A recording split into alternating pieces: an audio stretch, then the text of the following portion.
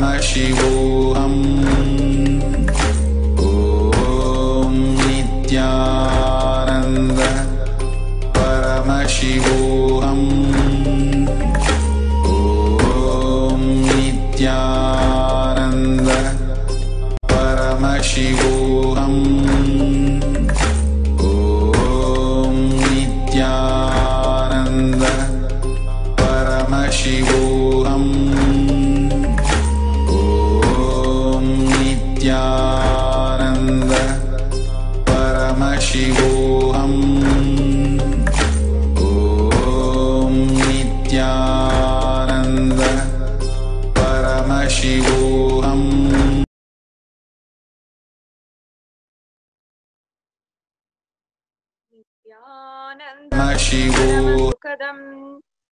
केवलं ज्ञानमूर्तिम् द्वन्द्वातीतं गगनसदृशम् तत्त्वमस्यादिलक्ष्यम् एकं नित्यं विमलम् अचलम् सर्वदी साक्षिभूतम् भावातीतं सद्गुरुं Namami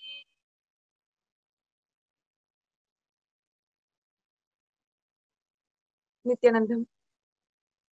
I offer my humble obeisance, humble pranam to the divine lotus feet of Supreme Pontiff of Hinduism, His Divine Holiness, Nithyananda Paramashiva.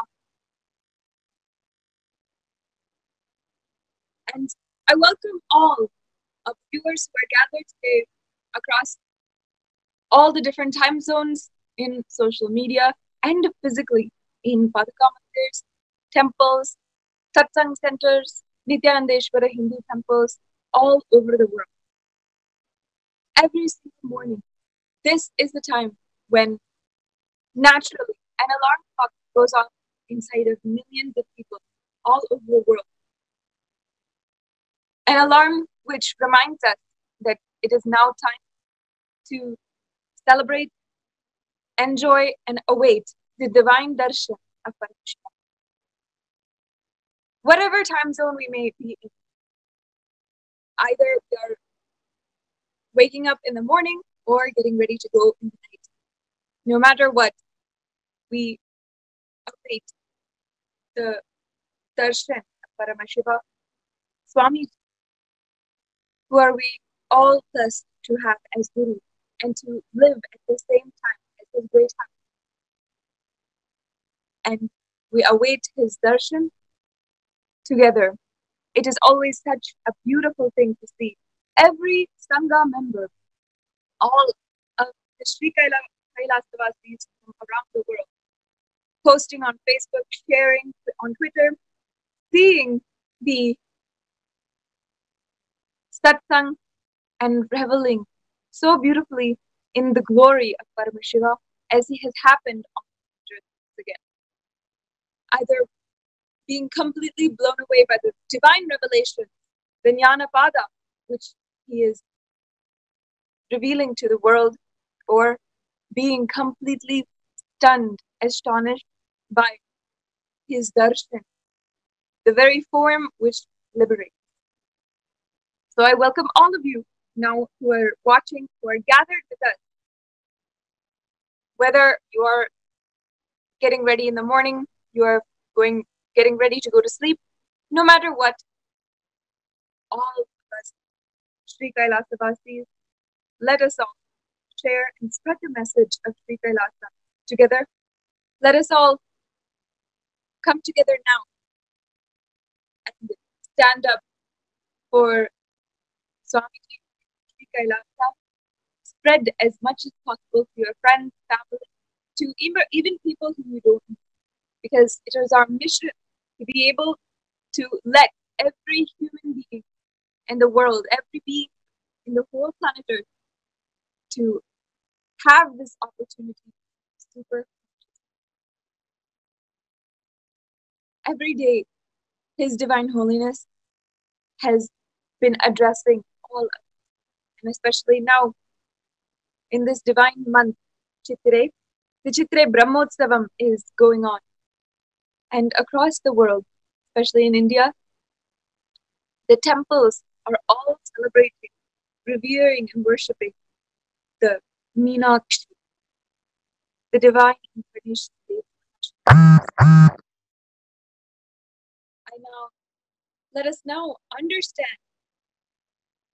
yesterday's satsang, what Swamiji revealed to all of us, and how he has guided us through the uh, whole Nityanandam,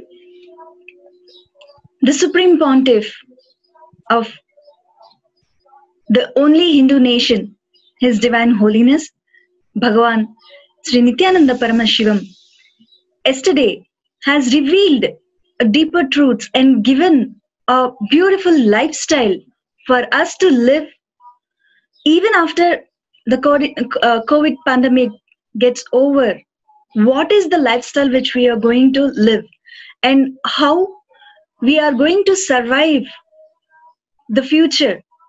Swamiji has revealed the deeper truths. Let us all get in to the details of it.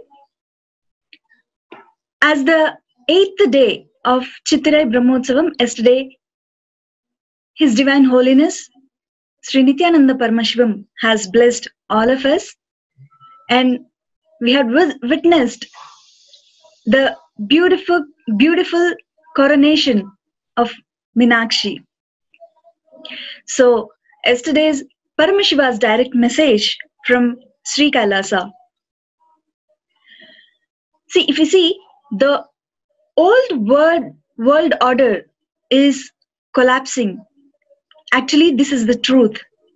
This after this COVID 19 actually this covid-19 is making all the human beings realize the world order is collapsing. Lockdown is getting extended in all the countries almost all the countries. This is the time we all the human beings not only stay safe cooperate with our local governments. When we are staying safe at home let us not destroy the time which we have on spending on stupid TV shows and doing the so called entertainment and spend time consciously preparing ourselves for the new world order. Blessed are those who are able to connect with Sri Ramachandra in Ramayana rewritten. So it has started and Swamiji has very beautifully told, even now, Swamiji watches the Ramayana, studies the Ramayana even now. And spend our quality time, the time when we have during this pandemic, use it consciously, use it to build our own selves for the new world order the world order is collapsing. Whatever we have been taught as security for life is losing. Literally, it is losing. The agriculture based economy and superconscious based existence, only these two are going to be the new world order. I have rem- remember one one of the incident in 2012. One of our devotee had come and asked Swamiji, Swamiji, what kind of a um, investment I should do so that um, I'll be able to uh, flourish in my business. Swamiji very beautifully told. Within few years, the whole world order going to change. So let us invest our time and talent and treasure into that new world, world order which is the agriculture based lifestyle. So, Swamiji has predicted way before that this whole world order going to change.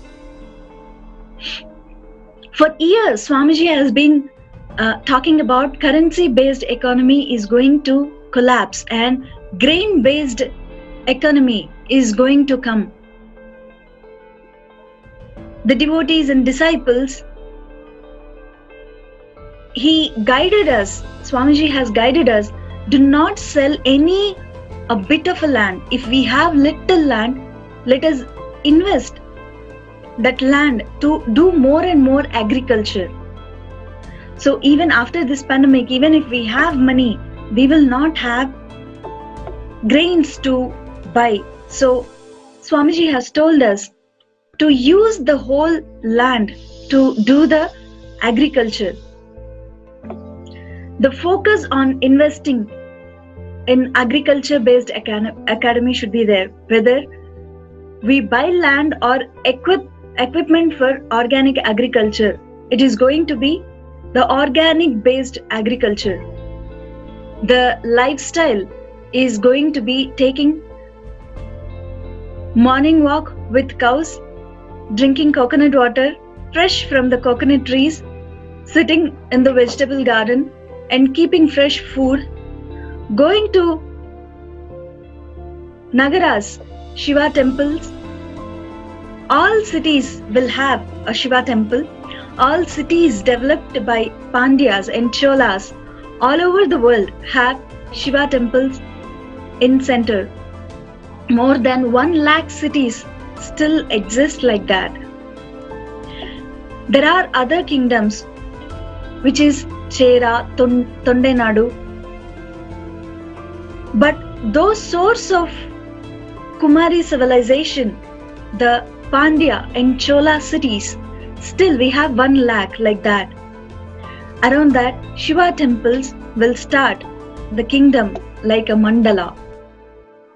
So mandala is nothing but the a proper way of arranging the energy centers. So these Shiva temples going to be the energy centers radiating energy enlightenment and form as a mandala.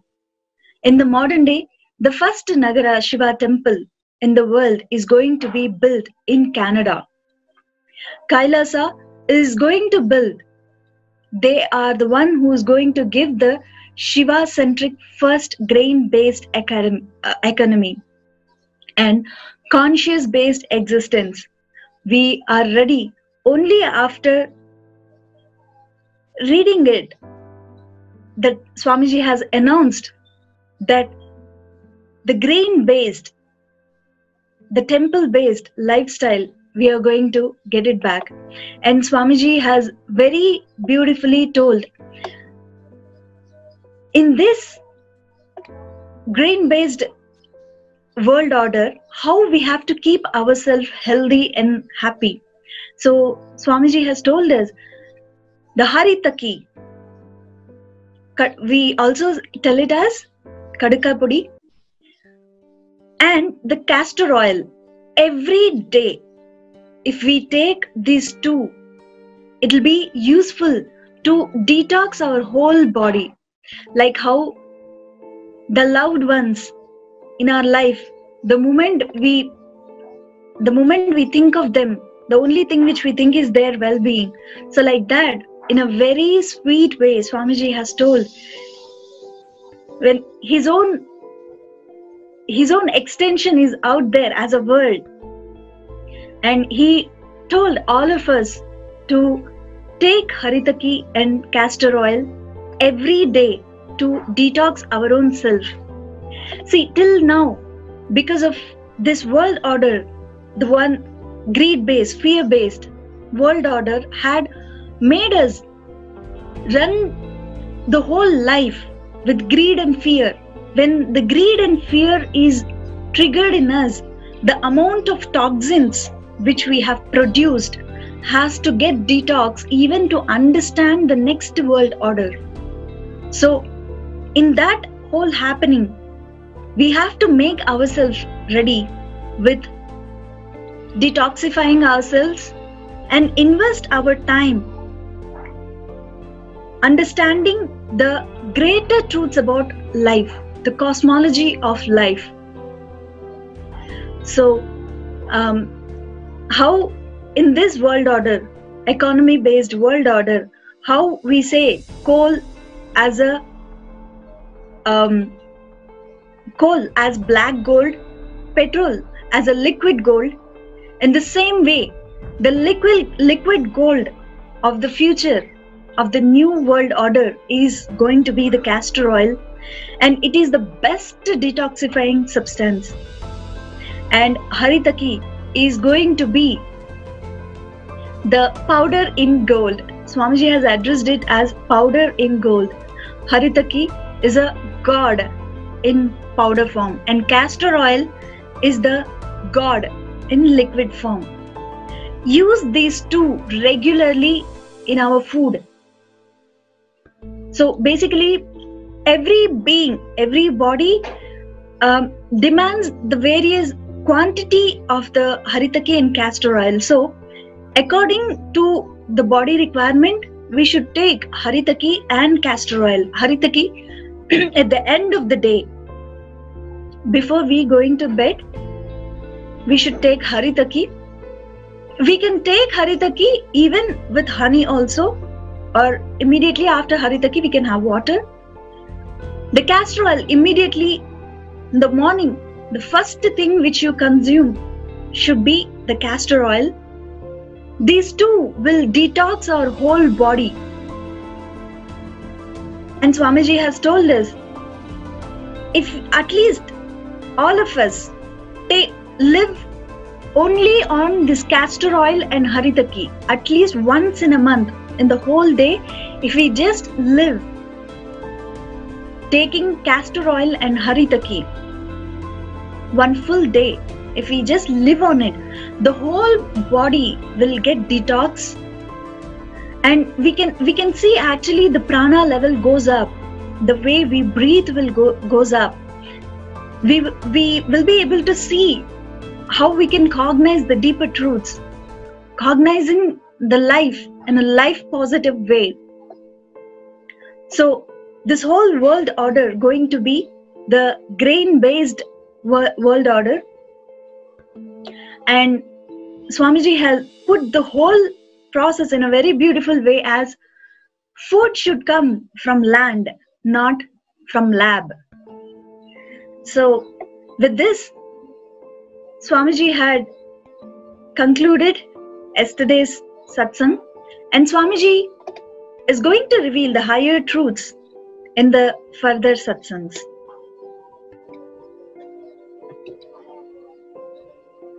Themselves, Madurai, Meenakshi, the enlightened civilization who, which was established at this time, is extremely unknown and unheard of. It's very sad to see many Hindus themselves will say, many devotees of His Divine Holiness Swamiji themselves will suddenly come to the realization that after they met Swamiji only, they even understood, they even came to know such a being, such an incarnation is was there like Meenakshi, was there like Arunagiri Yogeshwara. All of these incarnations are great pillars, are unfathomable in their amount of contribution to Hinduism and humanity. Meenakshi was absolutely pivotal in our Hindu history. And unfortunately, due to so many anti Hindu invasions, anti life, negative, colonial invasions, the history that we once are, were so proud of has today become absolutely nothing. Where even the next generation is not able to understand how we lived and has, has been putting off the entire Hindu history as something known as mythology, like Greek mythology and Roman mythology, something of the stories of the past. But we are very clear that what we know as in the Puranas is not a mythology, it is a history. Naming it as a mythology is one of the worst crimes done to Hindus, done to Hinduism and Sanatana Hindu Dharma. It was done by the people who could not even understand, could not fathom this. Of course, they never had the consciousness based power, consciousness based living. Because of this, they could not understand and they writ off the whole history of they writ off the whole history from our Puranas as a mythology. His Divine Holiness has clarified again, again, and again to help us all understand, even if we do not, and even if we do not see the proof, that the Puranas are a history. They did. In fact, he said that even more real than the walls around you, which surround you at this moment, is the history of Puranas, the history of Hinduism. There are hundreds of scriptures, and uh, in one of those is named the Skanda Purana. Hundreds of other scriptures have even mentioned Madurai. One of the oldest scriptures is called the Rig Veda. Rig Veda is what we have identified based on modern day archaeologists, modern day archaeology, that Rig Veda is the oldest known oldest known record of history of oldest known record available. But of course, there's no knowing if that is true or not. It is still, however, even based on modern day science, it is still the oldest scripture available of us identifying and proving evidence of human civilization. The Rig Veda, even in this old Veda, it mentions the city of Pure.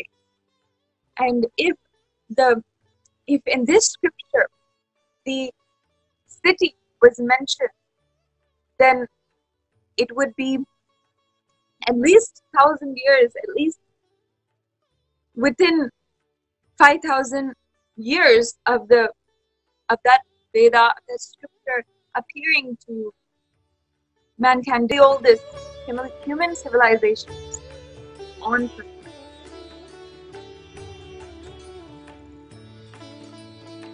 Swamiji has spoken so much about Madurai. Is officially the matriarch, the ruler of the Madurai, the entire civilization. When we, what we witnessed last night is this very ritual, which is done every year during the Chitrai Brahmotsavam. During this Chitrai Brahmotsavam, we see the entire life of Meenakshi from Pattabhishekam. Then the next day, today, we celebrate Digvijaya, where Meenakshi Amman has conquered all the eight directions, all the eight directions, and she brought together the 56 kingdoms. That's what we celebrate today. Then, tomorrow, we will be observing the great, beautiful Meenakshi Kalyan. Digvijay, Meenakshi decided that she would conquer Kailas Kingdom. To her surprise, upon the darshan of she had the complete oneness experience with him and he had the enlightenment, her enlightenment experience, realizing the third breast, which had always been there body, completely disappeared. His Divine Holiness has told that the third breast is nothing but a physical reminder that she is a superhuman, that she is a god in human form. And the minute she did not need that physical reminder, the minute she attained the oneness with Parameshwara, that third breast disappeared. And then Meenakshi Sundareswara are married in Madurai. Grand celebration with all the gods and goddesses coming down and all the other Loka beings coming down and witnessing the entire event. All of this starts with the Pattabhishek, which we witnessed yesterday.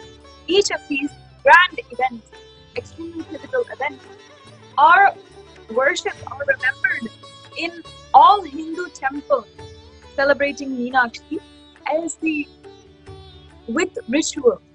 Pattabhishekam is done as a ritual annually every every year without fail to remember the divine coronation of Meenakshi Paramati. Digvijaya is done as a procession.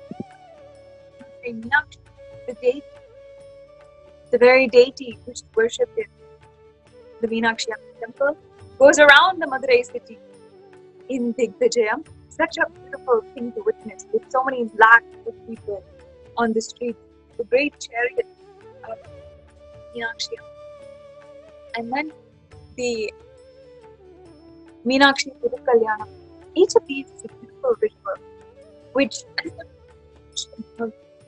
Meenakshi. His Divine Holiness holds so close to his heart. Therefore, it is in the heart if the entire Sangha, all of us, being able to relate to Swami as our divine.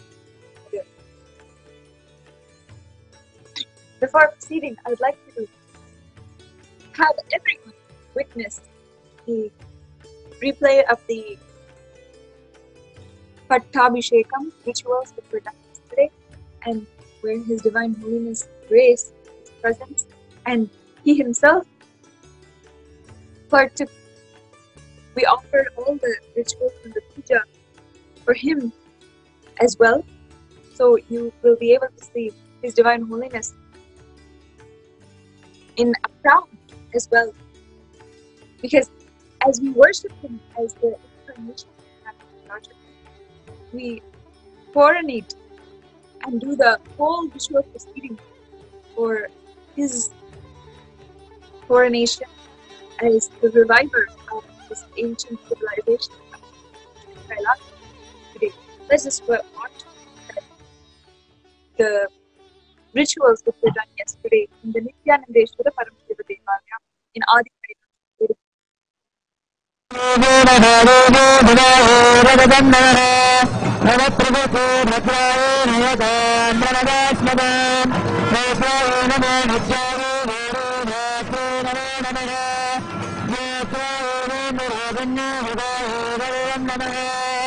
കർപ്പൂരവീരം കരുണാവതാരം സംസാരസാരം ഹൃദയേന്ദ്രഭാരം സദാ വസന്തം ഹൃദയാരംഭോ فمن دناني فهدى النمامي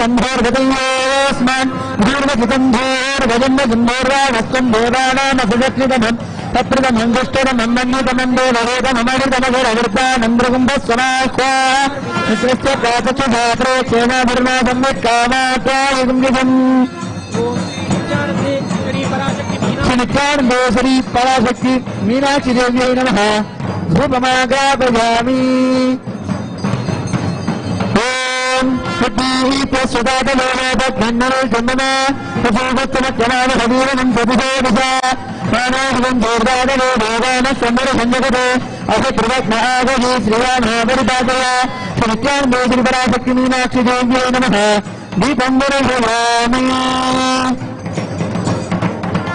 ఓం అమృతే ఓం ఓం అమృతే అమృతోద్భవే அமிர்தவர்ஷினி அமிர்தம் ஸ்ராவண ஸ்ராவண சுவாஹா மனசு விக்யான் மனசு பராசக்தி மீனாட்சி தன்மே நமஹ நமோ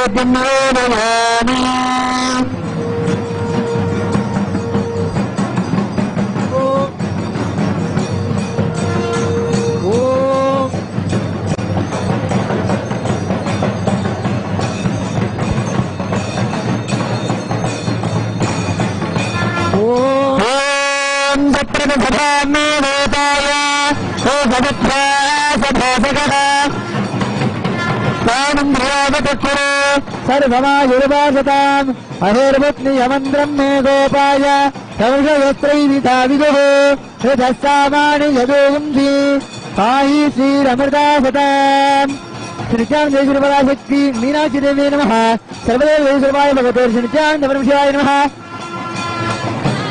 अलंकार दीपम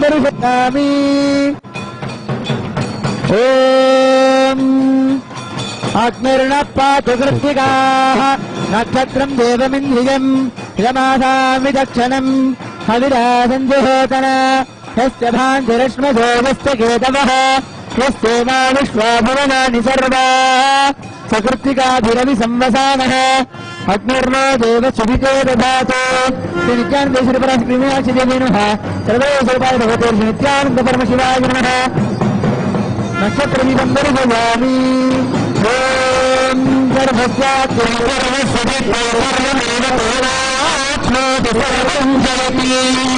ഓം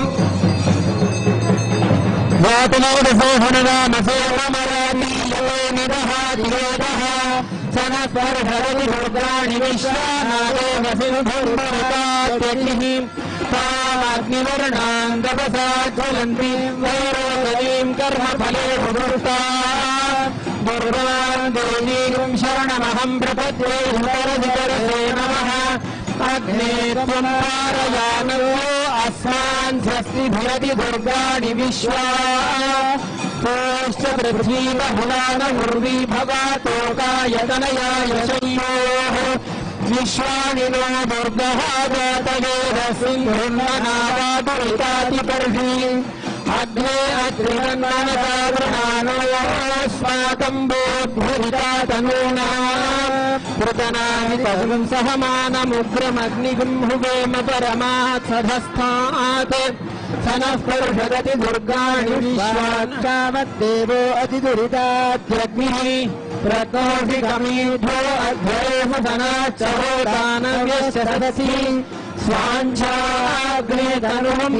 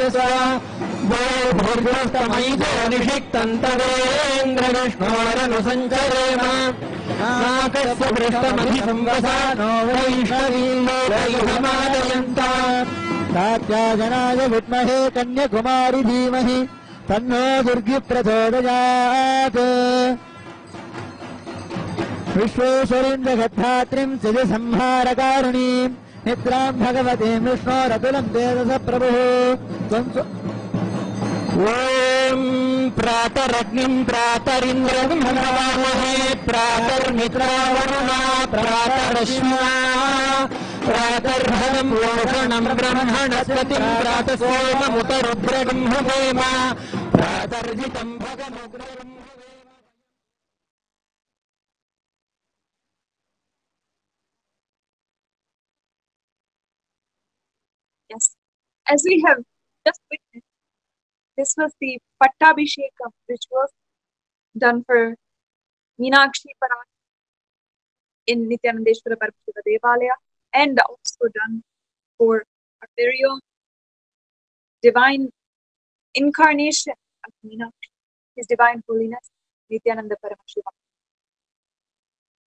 For all of us, millions of devotees of His Divine Holiness, and for all 2 billion Hindus across the world. It is a divine experience to be able to witness these rituals as they happen. Further on in this in this introduction to satsang, we will understand and witness the historical happening of the coronation of His Divine Holiness as the 293rd Guru Mahasannidhanam of Shamana Pita and the reviver of this great light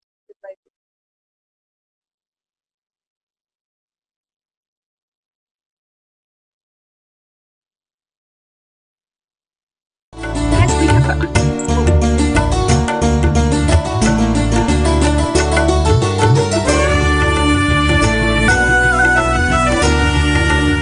From today I'll start the philosophy and history of Madurai Adinam. Please understand this is world's most ancient Hindu organization. I can say religious organization. Forget about Hindu organization. Religious organization. I can say organization. See, organization started from religion. The idea of organization is originated from religion. The idea of religion is organized, originated from Hinduism. So, if this is the world's most ancient Hindu organization, I can say this is the first organization on the planet Earth. Please understand, this is world's oldest organization. This organization has two history. One prehistoric period, another one recorded history. Recorded history, no doubt, no problem. The facts are there. I'll present it as it is. I'll read from the Akashic records and give you all prehistoric informations also. I'll give you all the prehistoric informations about the whole Adinam and the whole tradition. I can say this will be the comprehensive history of Hindu religion, comprehensive history and philosophy of Hindu religion. This organization is created directly by the first incarnation of Shiva, Sundareshwara, an incarnation of Devi, Meenakshi. Please understand, even the word incarnation is not exactly right because incarnation means you assume superconsciousness assumes human body and comes out.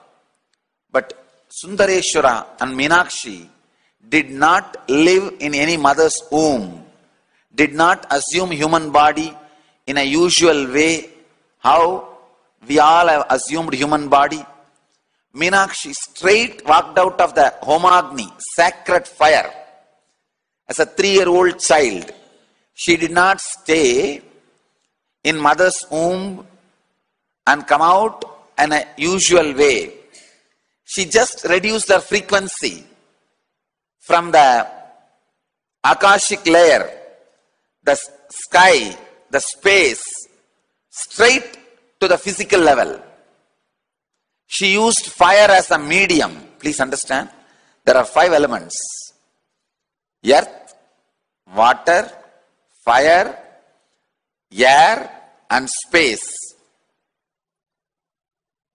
The beings who are living in the space are enlightened beings, Jivan Muktas, the divine beings, beings who are living in this body, physical earth, are human beings.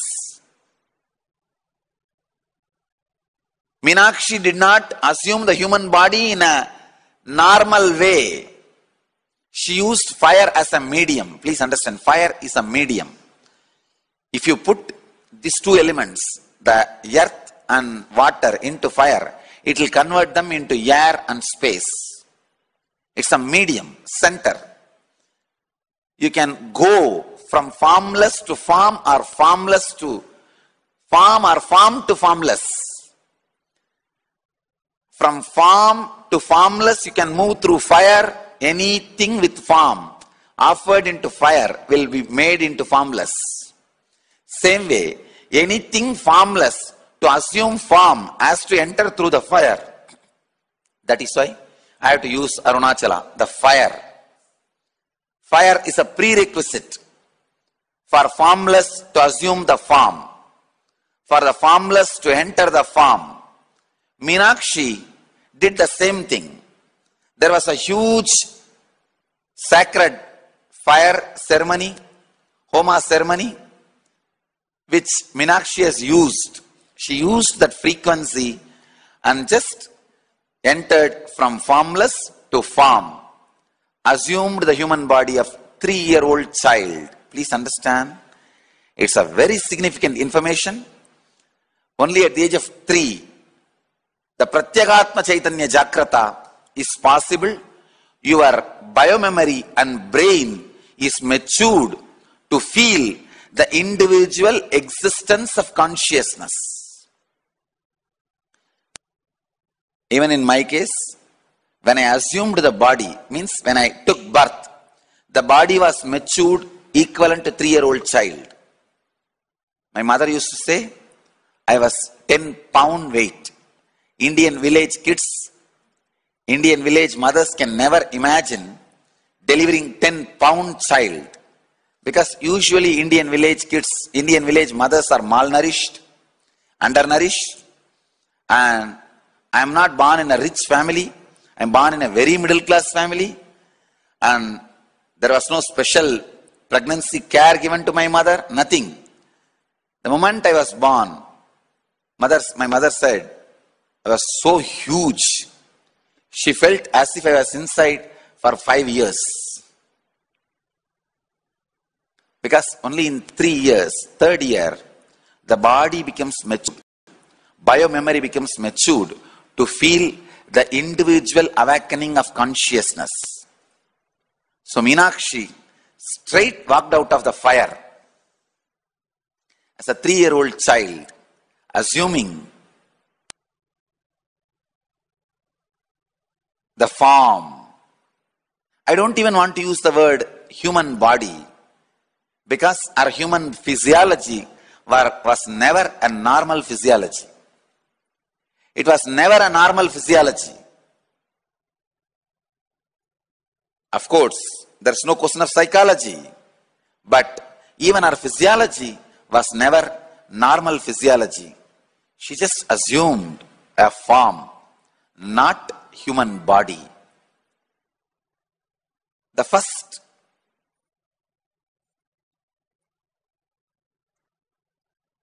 and foremost form of the Supreme Mother, Divine Mother, Meenakshi. See, till her appearance in human plane, there was no monastery or religion, tradition evolved. You may ask, then how did they do the sacrifice? The Homa, it was done by the divine rishis. Human beings were not introduced to the religion, spiritual concepts and truths. It was only for a special divine beings who assume from formless to form, come down, perform these sacred acts, elevate human beings, help human beings temporarily and go back.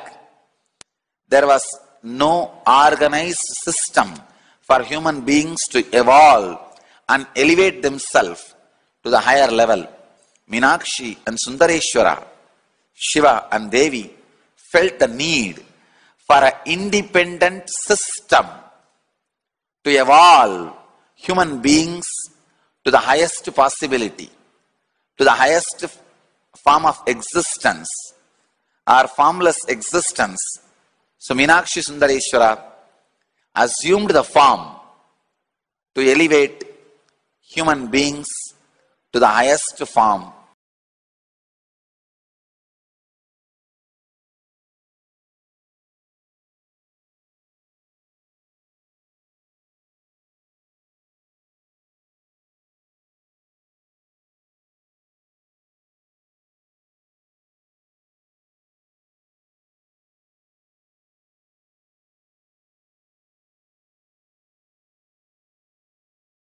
No, time and again. Paramashiva has come back to revive what is lost. No matter the invasions, the destruction which has happened, is continuously the revival of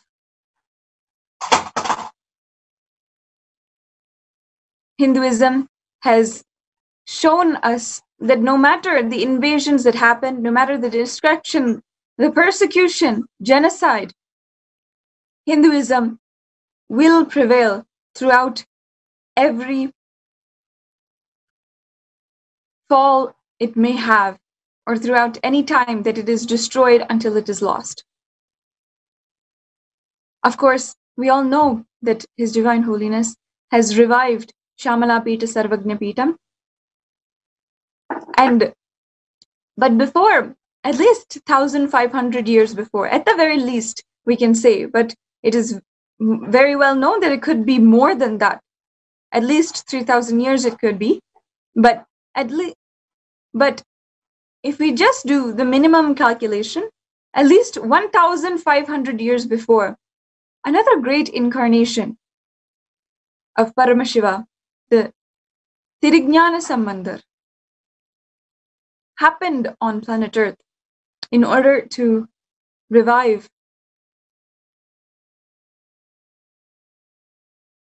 Meenakshi and Sundareshwara, and he himself had put in place the history, the unbroken lineage of Guru Mahasannidhanams. It was from him that this tradition of Guru Mahasannidhanam, a lineage, a sampradaya, which is unbroken for 1500 years, finally came down to His Divine Holiness. And he was coronated in the year 2012 as the 293rd Guru Mahasannidhanam of the Shamala Pita Sarvagna Pita. It all started, this lineage of protecting the Shamala Pita Sarvagna Pitam is started with Tirugnyana Sambandar. His great Leela, his great story is so very well known in the Hindu history. But for all of you who do not know, we would like to share what happened in his life, the great instances in his life where he has exemplified to all of us the nature of an incarnation and how to live, how to how to see a role model, how to base your entire life on. Tirugnyana Sambandar himself had gone through so much of persecution, had at the time when Jainism and many other forces were present in India and in around this time had shown so much of resistance against Hinduism prevailing. At this time, it was that Tirugnan Sambandar had come down and protected Shamala Pita Sarvagna Pitam, protected the tradition and the enlightened civilization that Meenakshi Sundareshwara had established or revived once again on planet Earth. So let us understand the history of Tirugnyana Sambandar. I invite Manitya Jayananda to explain to us the entire history of this great incarnation.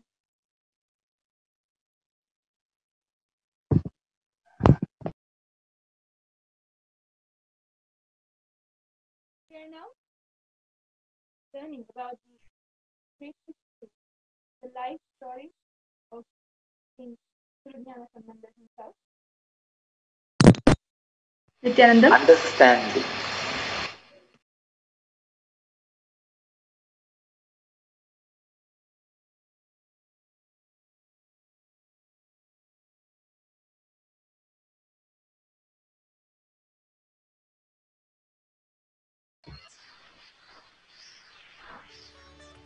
Nithyanandam. So now we will all be learning about the history, the story, the glorious story of Tirugnyana Sambandar, who revived the Shyamala Pita Sarvajna Peetham, the Madurai Adinam, the enlightenment ecosystem in Madurai, after it was revived by Meenakshi and Sundareshwara themselves. The story of Tirugnyana Sambandar, of course, starts the, the miracles that he started expressing starts at the very young age of the tender age of three, where Tirugnyana Sambandar, when he goes to, along with his father, he visits the temple to have the darshan of Paramashiva, as was the tradition in those days. When his father just left him for a few minutes and was went to take a bath in the holy waters of the temple, in the holy in the sacred pond of the temple. The story says that Sambandar, when he was going through that fear, that anxiety, when he was experiencing his first root pattern, we can say that was starting to build, immediately Tirugnyana Sambandar starts to cry out of that feeling and cries out for Paramashiva and Parashakti themselves.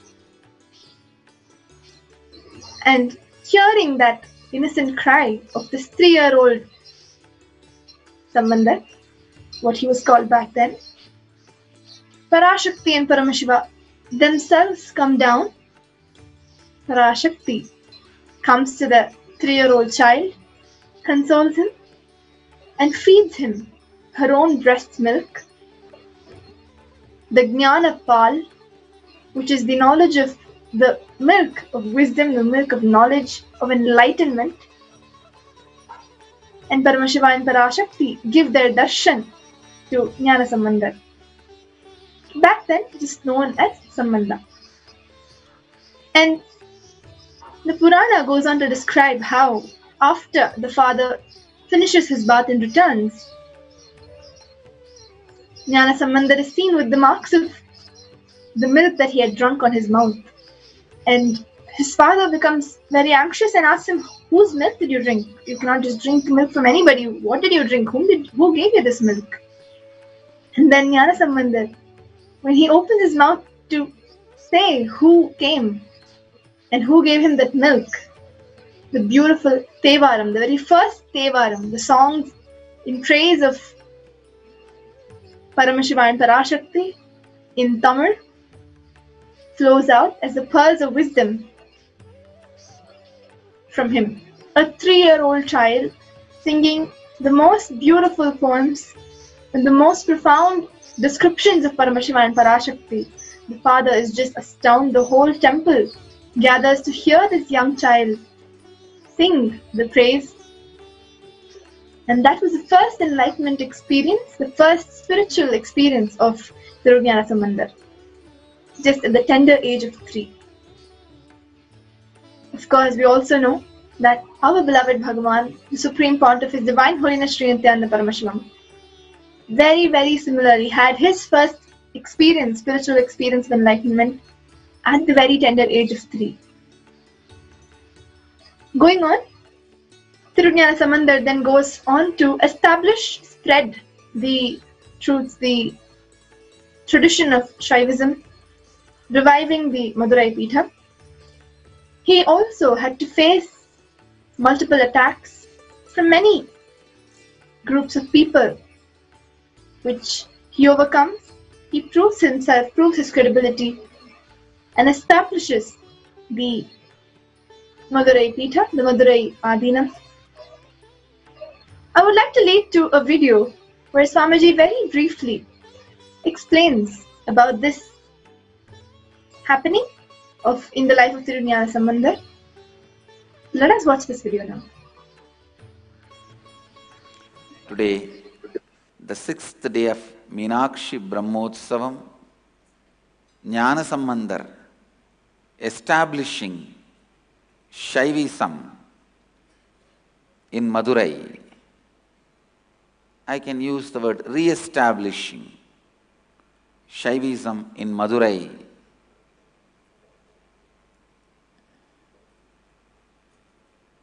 is celebrated today on the sixth day of the Brahmotsavam because Sundareshwara himself established Shaivism and Sarvanyapita first in the Madurai, then Jnana Sambandar re-established. I have to again re-re-establish.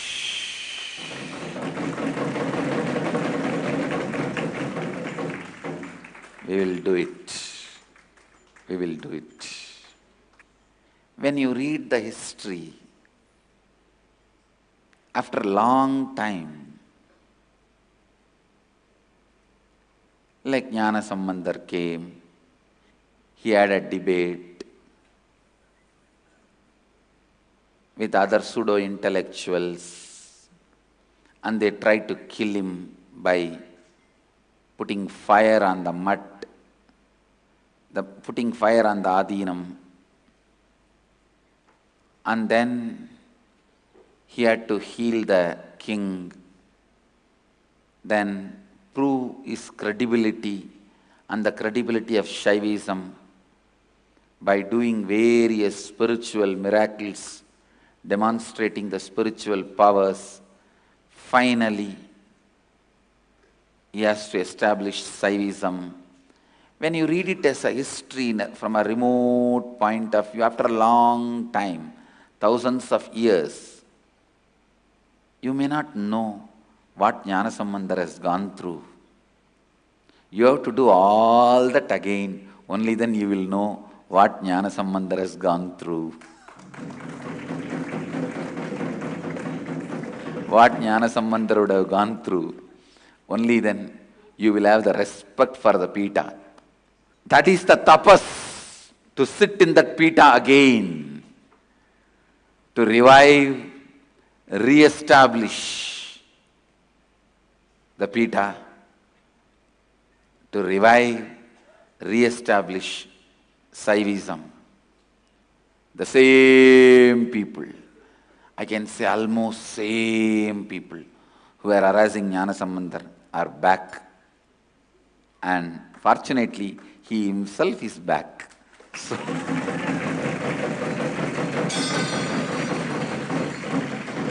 he will prove he wins again. He will prove he wins again. Today is the day Jnana Sambandar re-established Shaivism in Madurai that is celebrated and Devi Meenakshi is gracing on Swarnamayura Vahana, the golden peacock vehicle with the pearl crown. Sundareshwara is gracing in Sarvalankara. Let's receive their grace.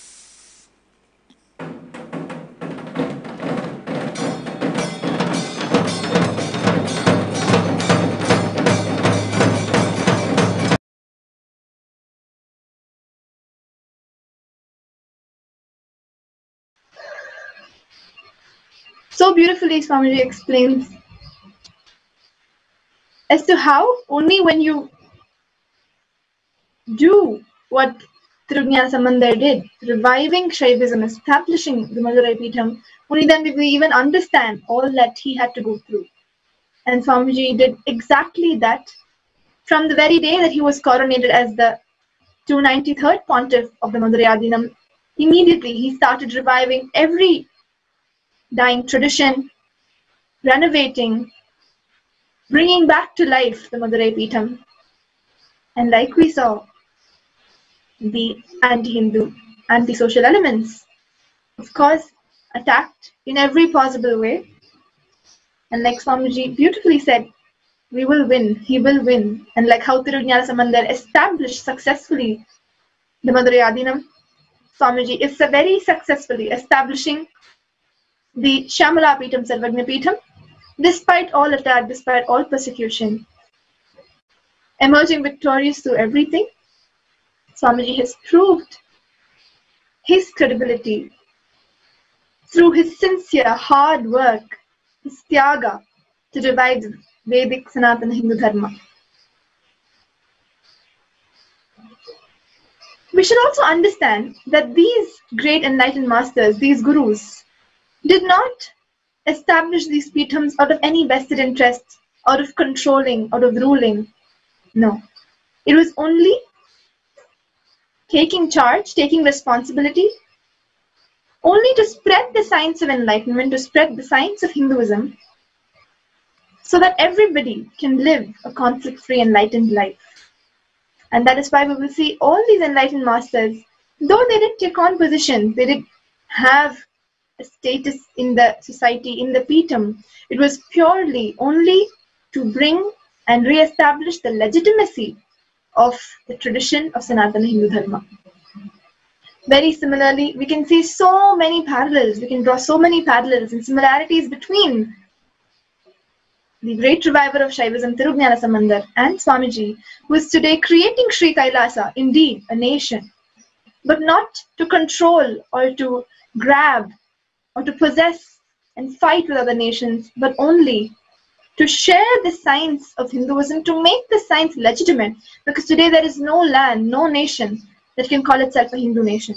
Only out of that intention, purely to legitimize Hinduism so that Hinduism and these sciences can be made available for the generations to come so that they can live an enlightened lifestyle. Just for that, the avatar does all the tyaga, everything, does all the hard work, even of establishing a nation itself, only to make the science available to all of us. So let us watch this other video where Swamiji explains the context out of which these enlightened beings function as to how they revive these traditions and how they run and administer. What is the structure that they function through so that we can beautifully understand how Tirugnyana Sambandar functioned in the past and how exactly Swamiji is functioning out of that space as an avatar to revive Sanatana Hindu Dharma. Let us watch this video. Understand this hard power, soft power, thinking need to be done a lot in the Vakyartha Sadas. Only then you will understand the uniqueness of Vedic tradition. And why we have so much of freedom because our religion was never used by its founders or its preservers to control people. Understand? Religion was never a tool for us to control people. Rameshwaram to Kedarnath, the morning till night, the actions of people are same, but we had 54 deshas.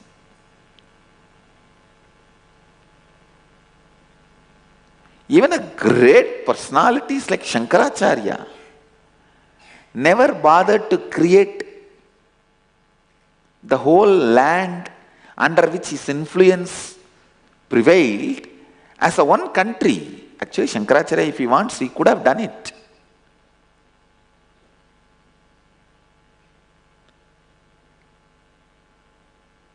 And Jnana Sambandar, when he cured the Pandya, Pandya offered the whole kingdom at the feet of Jnana Sambandar. Is from Chola king, kingdom. He could have just said, all right, and Jnanasambandar, actually the Pandya's wife is a daughter of Chola. Actually, the Chola's daughter was married to Pandya. Jnanasambandar could have said, Come on, after all, queen is from my kingdom. Let both kingdom be merged together and I'll be Rajaguru for whole. He could have said it. He did not because the whole Chola kingdom was at the feet of Jnanasambandar.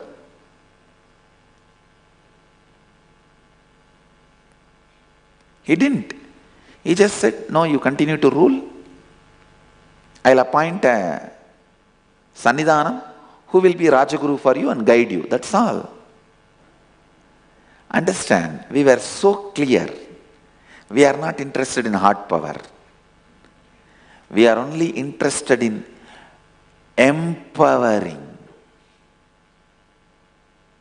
inspiring, raising human beings.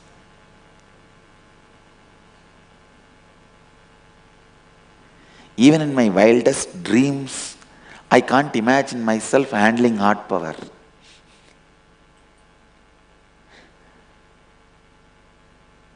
Because we are so clear. Soft power means deciding for life. Hard power means controlling. Hard power is always about controlling. Soft power is always about life, inspiring, liberating, enlightening, freeing.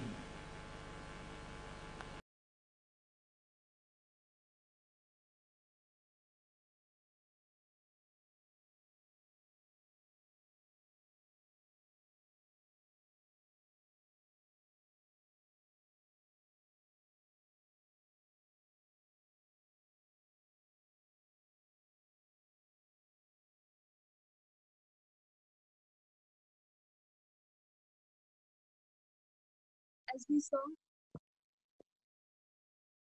just as Jnanasambandar, Sri Jnanasambandar had revived the whole Shamala Pita Sarvagnya Pita with soft power, continuously raising humanity and focusing only on that. Swamiji has explained to all of us that he only cares about soft power, raising humanity, raising each individual and giving a super conscious. As we have been repeating over and over again, reminding ourselves, reminding others, His Divine Holiness is the reincarnation, incarnate of Paramashiva, Meenakshi himself.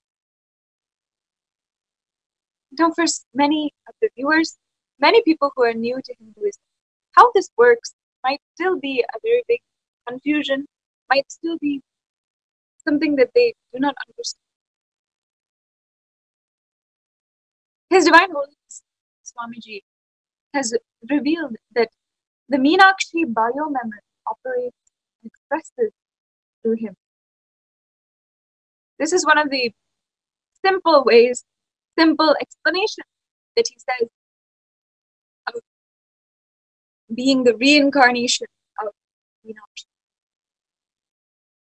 He has explained how reincarnation works in so much of detail, how the different science has shown and has given us a step-by-step explanation of how the reincarnation works, how biomemory, muscle memory is transferred from one body to another, along with our pure consciousness.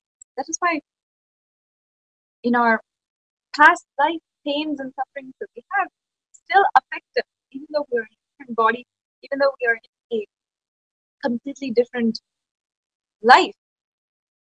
For all of us who are bound to karma, bound to the desires and the accumulation of desires, biomemory and muscle memory is something we may not have control over. Let me define these terms for all of us.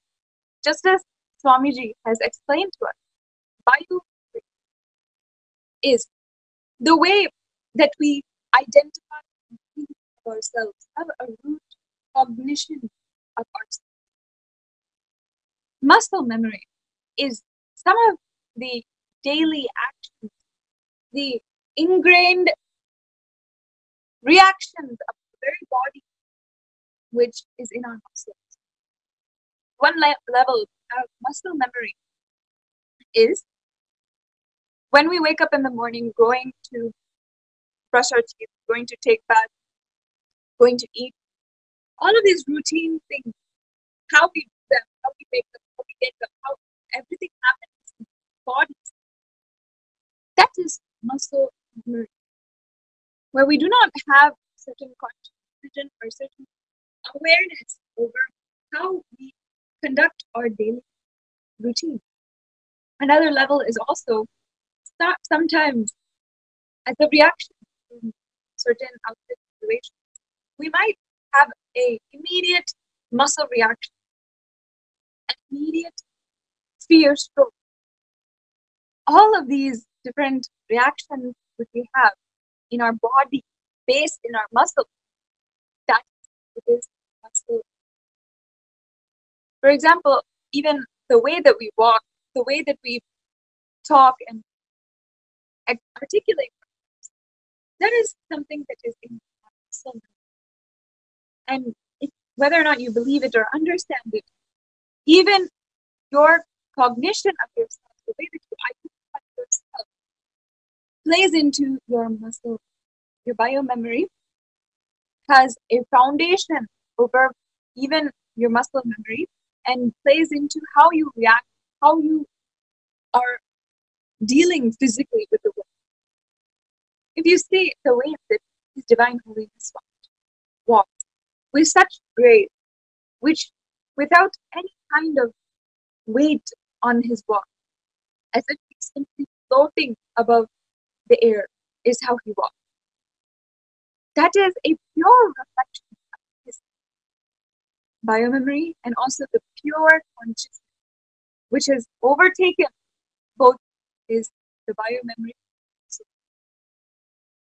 the fact that he is in complete oneness with Param Shiva shows in his muscle, in the way that he walks, his daily. If you ever see, even he himself has said, he gets up and the first thing he does when he awakens from deep resting space, samadhi, is he immediately sees his palm. Just as in the Shastra, in the Hindu scripture, it says that it is auspicious to see the palm, this area where Devi herself. His Divine Holiness continuously remembers that.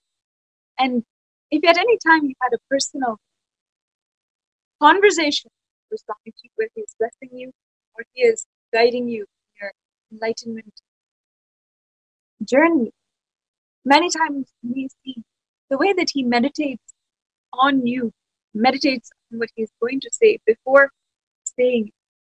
He simply eyes and seemingly as if he is going into a deep, resting, deep samadhi, completely looking in for a moment and then come, comes and says something to you.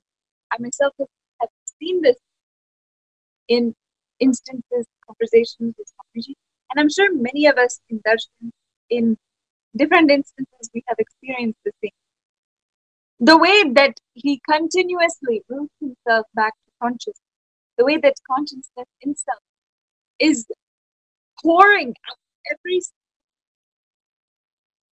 part of his body, every. That is that shows us how established he is this divine space, divine experience and oneness that shows the level at which pours out of he is literally. The other qualities, like this, all of the qualities of Bhagwan, His Divine Holiness, is actually rooted in a divine incarnation. Just like for many of us, some of our patterns is rooted in an identity of ourselves. If we have a lower ourselves, it'll come out without any grace, showing heaviness, being low and not energetic.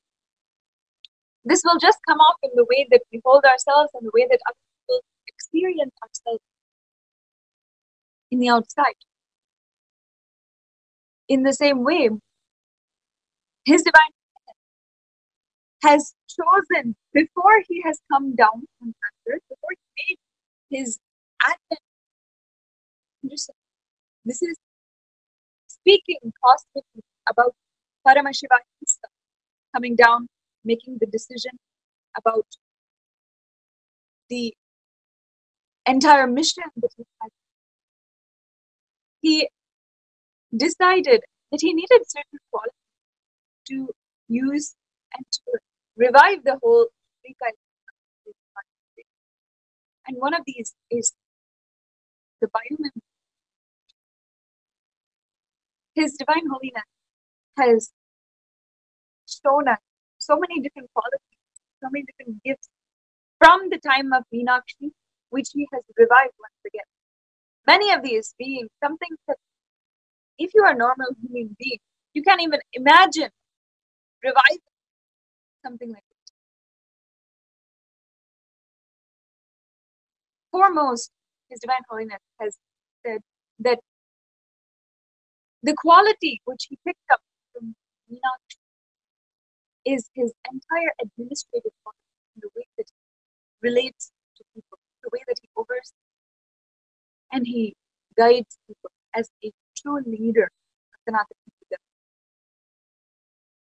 In this way, you can literally see Meenakshi in the way that he rules, the way that he leads the entire Hinduism itself. Just as Meenakshi had led Hinduism, had brought together all of the kingdoms under one roof and had the largest enlightened civilization ever on Earth, the first advanced civilization. Just like that, today, His Divine Holiness is doing the same with the nation. Let us watch His Divine Holiness Himself explaining how He chose and how He lived in the body of Meenakshi, how the whole reincarnation happened for us to understand more and more about how Meenakshi expresses through his divine her very being, how he's how she is is literally on planet Earth in the form of his divine. more about your own past lives. Vishwas Parikh, Swamiji, the Buddha said he could remember all of his past lives.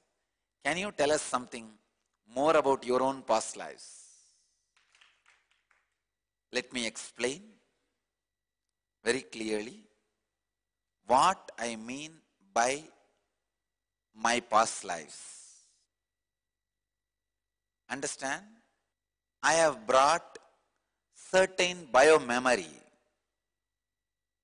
to do the mission, what I want to do.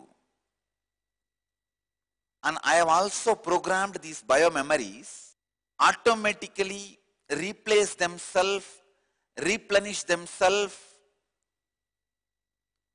based on the need of the humanity. See that purpose is to share enlightenment with the world. So what is the mental setup of human being? What kind of strategy I need to have to share this experience. So that kind of a human, that kind of a biomemory needed to be created in this body from whoever I have taken biomemory. All of them are my past lives. I have taken certain biomemory from Arunagiri Yogishwara. I can say Arunagiri Yogishwara forms the base material. My body language and verbal language. If Arunagiri Yogishwara has spoken English, he will exactly speak the way I am speaking. And he is speaking. The body language and verbal language that's the base material. That is from Arunagiri Yogishwara. Next, the administration. Please understand. Biomemory can be divided into four categories. One, the experience of God, experience of self, experience of the nature, experience of humanity. All my way of relating with humanity, that biomemory, I got it from Meenakshi. The whole administration, the way I handle people, the way I train people, the way I elevate people is from Meenakshi. My concepts about human society is from Meenakshi. My responses towards the human society, I started doing 2000 years before. That is why it is time tested, foolproof responses. The body language and verbal language is from Arunagiri Yogishwara. Administration is from Meenakshi. Strategy planning. These are all small, small gears. The strategy planning is from Sri Krishna. And there are some more masters biomemory, which is there in the body, which will start expressing itself very soon. It has not yet started operating, expressing itself. And I lived once more, having two bodies at a time, just like Shiva and Sati, Ardhangini, two bodies at a time. Understand? Not two souls, two bodies. But at the same time I appeared, means took birth, same time left the body, both hearts were beating from the same source. So both bodies are under this banyan tree, buried. One is male body, another one is female body. Both grew up simultaneously. It was not physically connected. Both bodies are physically separate. But it did not have two individual identities. One identity having two bodies. How much you understand? You understand? If I want to move my right hand, I have to tell which body is right hand. Means both bodies were operated from one brain. And I can switch to any brain. I can either switch to female body's brain and operate male body also, and male body's brain operate female body also. And I can eat in one body and the other body will be satisfied. I can just drink water in one body, the other body will have the effect of the water. I know it is getting too much, but I have decided I am going to answer this question during the Meenakshi's body. It was eight and a half feet tall. Average human height itself was eight feet. At the time, It was one of the earliest human settlement in the southern part of India. I'll speak. Now I know I'm not able to speak, but I'll continue to speak. Maybe the next next satsangs on this my past lives because I have decided I'm going to write my biography four bodies all four bodies autobiography of an avatar in four bodies. I'm going to describe Arunagiri Yogeshwara body Meenakshi body and the two bodies which I had at a time which is there under the banyan tree and this body. Once in female body once in male body once in having both bodies once this time both in one body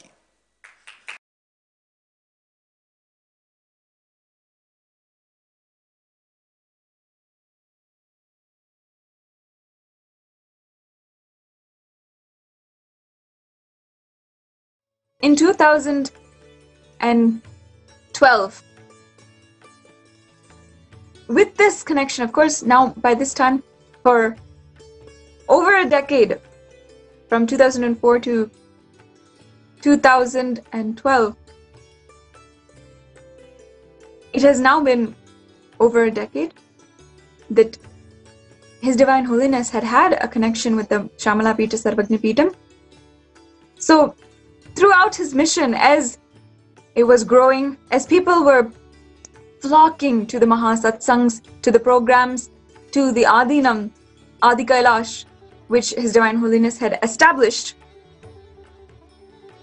everyone knew about Swamiji and the way that he was creating a revolution, reviving Sri Kailasa. Then, His Divine Holiness, without even him saying anything to the 292nd Madurai Sannidhanam, Guru Maha Sannidhanam, suddenly the Guru Maha Sannidhanam, 292nd Guru Maha Sannidhanam of the Shamala Pita Sarvagna Pitam, had a dream that Meenakshi Parashakti and Sundareshwara Paramashiva were had come into his dream, both of them, and they were telling him that they, he must coronate His Divine Holiness Swamiji as the next 293rd Guru Mahasannidhana. And the 292nd has told this in public many times, has told that Shiva himself has ordained the 293rd, has ordained His Divine Holiness as the 293rd Guru Mahasannidhanam. It was because he had remembered, he had the divine darshan of Meenakshi Parashakti and Sundareshwara Paramashiva in his dream, and he and they both told him that they must he must coronate Swamiji as the next Guru Mahasannidhanam. Just so that we understand, let us watch a few clips where the 292nd Guru Mahasannidhanam is telling the world that it was Shiva himself who ordained Swamiji in his dream. செய்தி என்ன சொல்ல விரும்புறது இது திடீர்னு எடுத்த முடிவு சிவபெருமான் பார்வதியை ஆணையிட்டு எடுத்த முடிவு இது இதுல வந்து நான் தெரிவிக்கிறதுக்கோ கன்சல்ட் பண்றதுக்கு நேரம் கிடையாது ஒரு ஆதினத்துல What? திருவாவூர் ஆதினத்தில் What? ஏதாவது சேவை பண்ணணும்னா இன்னொரு ஆதினத்தில் கேட்க மாட்டாங்க Guru Mahasannidhanam is explaining in this is that அது அவங்களுடைய independent he, the Shiva himself, Lord Shiva, has ordained Swamiji as the 293rd Guru Mahasannidhanam. And though there was so much of conspiracy attack against His Divine Holiness, there was nothing that anyone could do. It was an irrevocable decision, an indissoluble decision to coronate His Divine Holiness. புகுந்து அவரை தேர்ந்தெடுத்தார்கள் என்பதுதான் உண்மையான உண்மை உண்மையிலும் உண்மை நூத்தி இருபது உண்மை அது.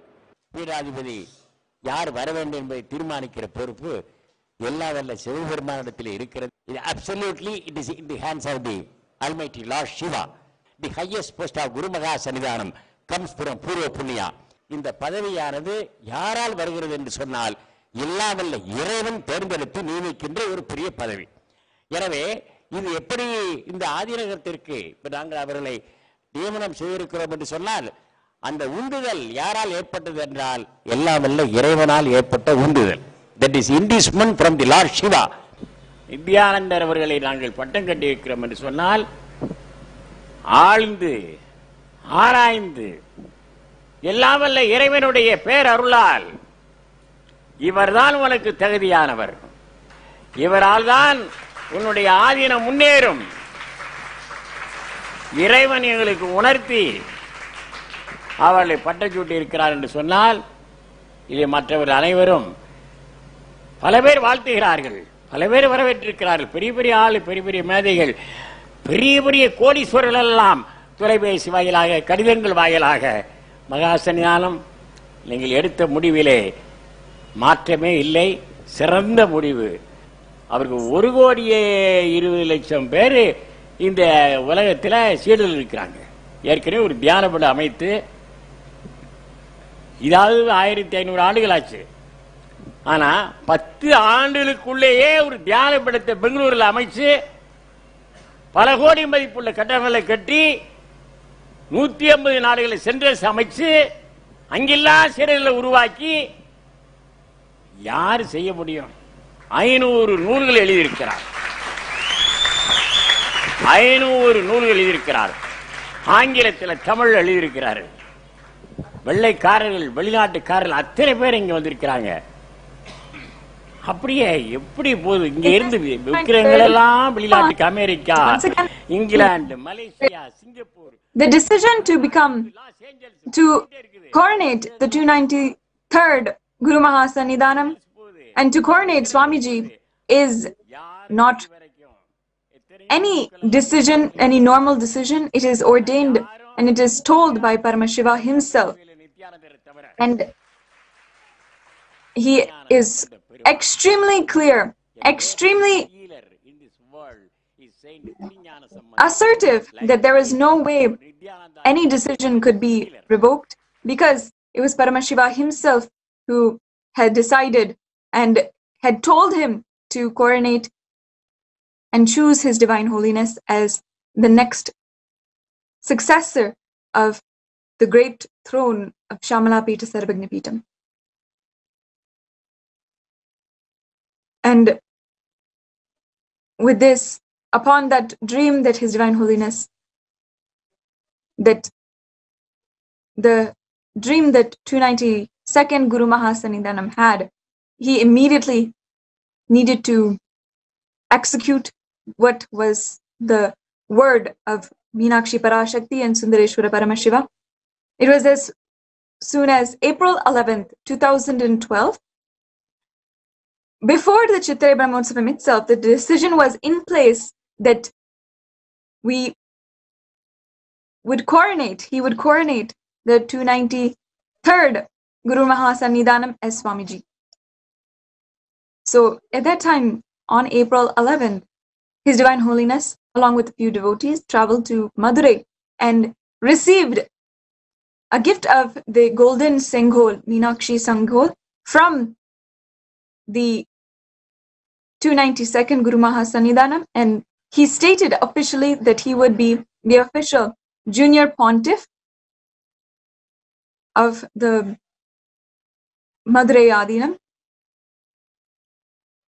And after which, in the same month, on April 22nd, during the Chittirai Brahmotsavam of that year, the coronation happened for His Divine Holiness in Bidadi.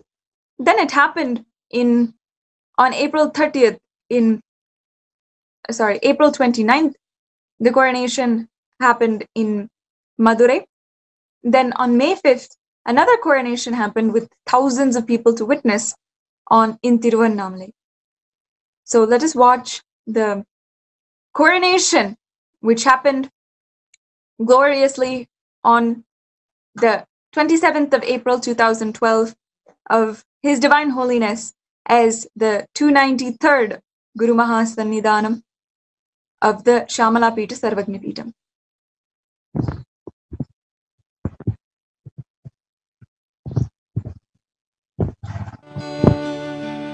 देवदेवोत्तम दीनसंरक्षक देवदेवो दीन संरचग देवदेवोत्तम दीन संरचग देवदेवोत्तम दीन संरचग देवादि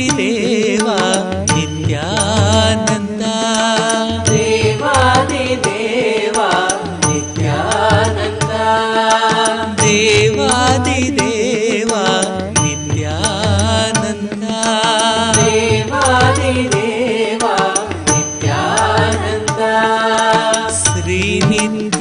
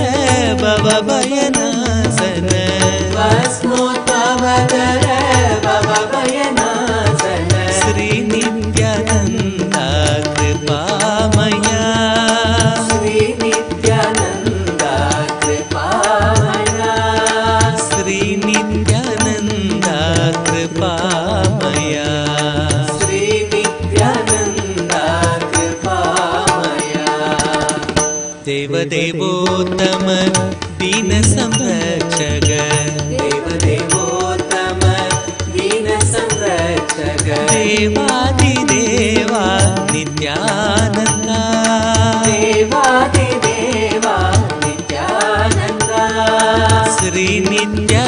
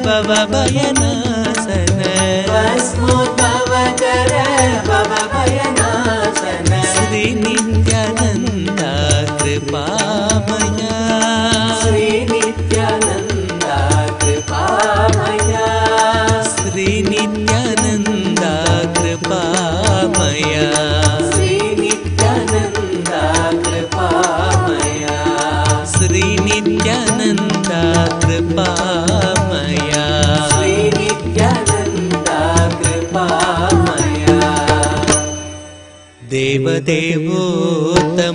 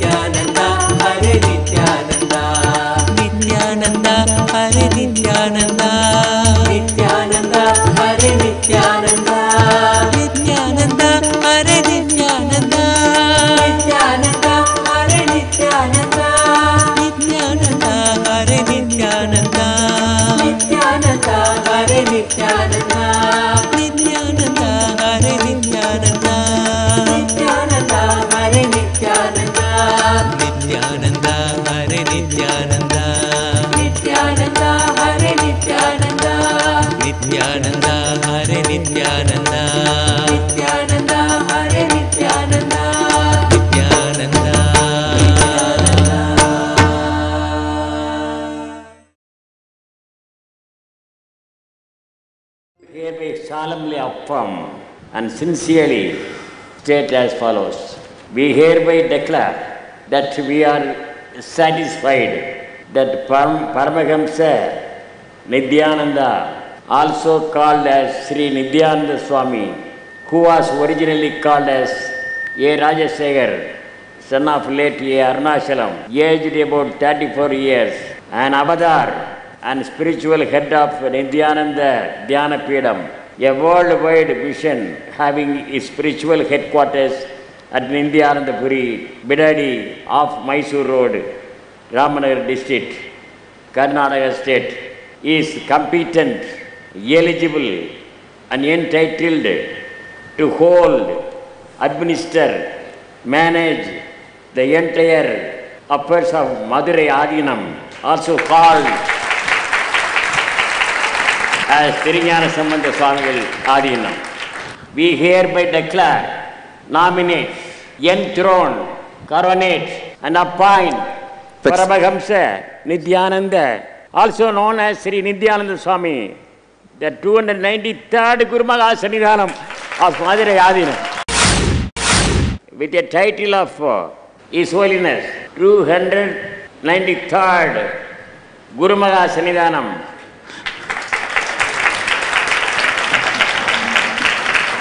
Gurumaga Sanidhanam. Srila Sri Paramahamsa Nithyananda Sri Jnana Sambandha Desiya Paramachari Swamigal.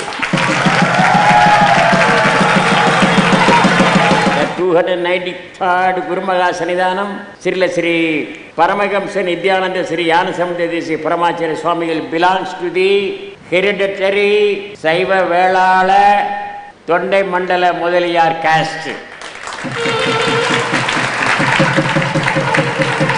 We are very proud because according to the customary, the rules and regulations of uh, the Madurai Adinam, we are appointing, selecting, nominating and coronating only hereditary Saiva Velalars.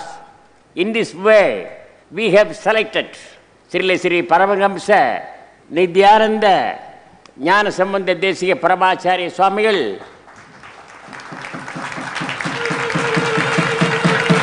as the 293rd Gurumaga Sannidhanam of this Madurai Adinam. The current pontiff of Madurai Adinam announced and customary rites that is being performed, enjoyed, vested in the Madurai Adinam.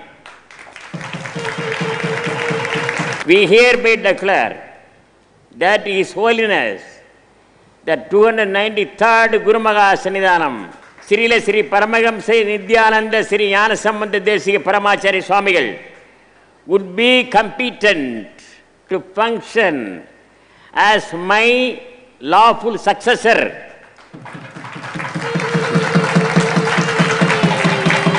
to deal with all movable and immovable properties of the Tirjnana Sambandha Swami Adinam, also known as Madurai Adinam, situated anywhere, including the properties in India and abroad, including temples owned by the Tirugnyana Sambandha Swami Adinam and the properties attached to those temples as well as all the spiritual heritage of Tirugnyana Sambandha Swami Adinam, Madurai Adinam.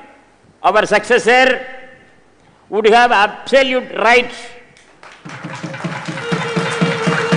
over the above said properties and function as is being discharged by us, including appointment of archakas, managers, administrators, parijagas, and other staff to the temples, endowments belonging to the Madurai Adinam. Now we are signing in the deponent column.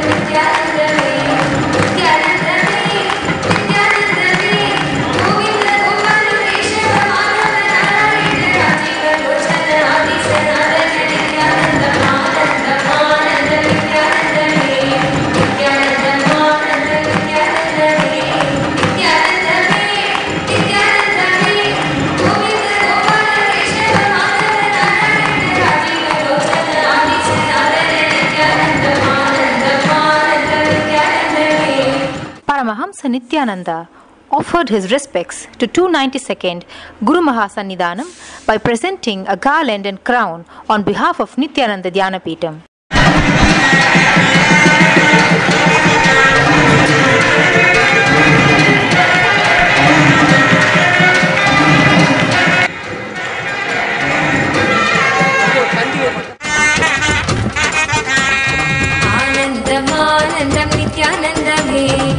Nithyanandam ஆனந்தம் நித்யானந்தமே ஆனந்தம் ஆனந்தம் நித்யானந்தமே நித்யானந்தம் ஆனந்தம் நித்யானந்தமே நித்யானந்தமே நித்யானந்தமே Govind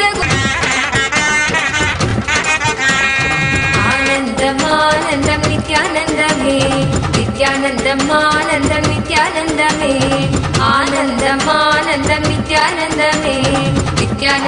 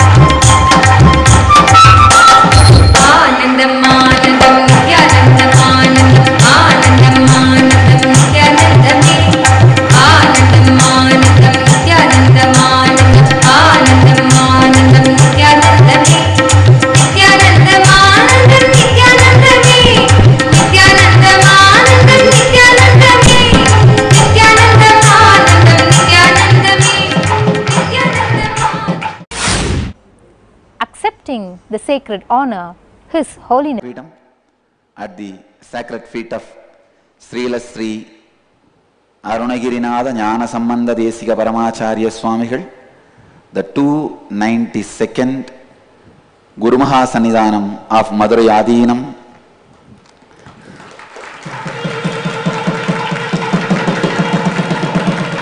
And I welcome all of you with my love and respects.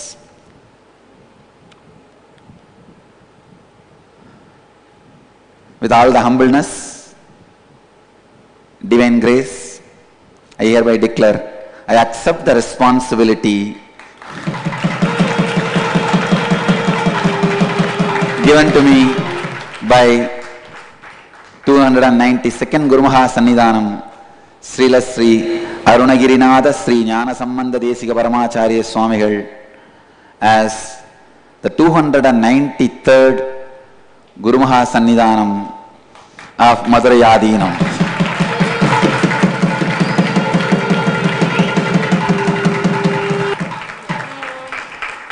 Here, I take the commitment of making Madurai Adinam as an international religious organization.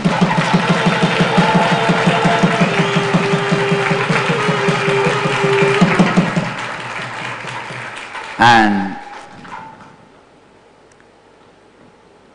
as an immediate offering, I am offering one crore rupees at the feet of Swamiji for all the spiritual and social activities of Madurai Adinam.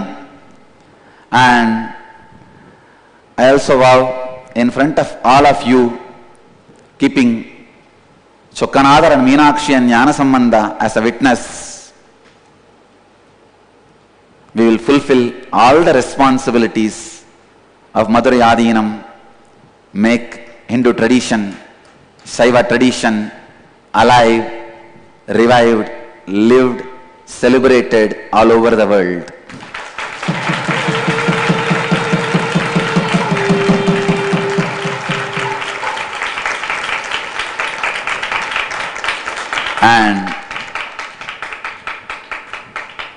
All the wealth of Nityananda Dhyanapitham will be waiting for the orders of Guru Mahasannidhanam.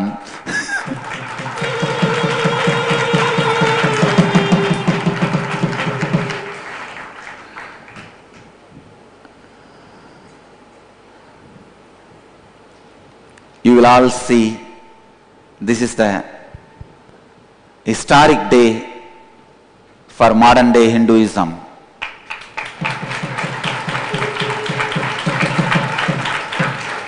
There are references in earlier traditions. The head of the ancient religious mutts, monasteries, recognizing the incarnations and coronating them. In Swaminarayan's life, this has happened. Bhagavan Swaminarayan, after he completed his wandering in Gujarat, there was an ancient monastery. Head of the monastery recognized Swaminarayan as an incarnation and made him as a pontiff of that monastery. Now, all of you know that monastery is the world's largest, richest, wealthiest Hindu organization.